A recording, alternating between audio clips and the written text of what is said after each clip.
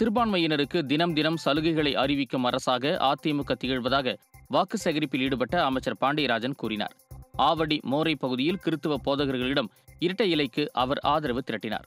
அப்போது போதகர்களின் கோரிக்கையினை ஏற்று ஆக்கிரமிக்கப்பட்ட கிறித்துவ ஆலய நிலங்களை மீட்டு உரியவர்களிடம் வழங்கப்படும் என்று வாக்குறுதி அளித்தார். தொகுதிக்கு செய்த நலத்திட்டங்களையும் அவர் பட்டியலிட்டார்.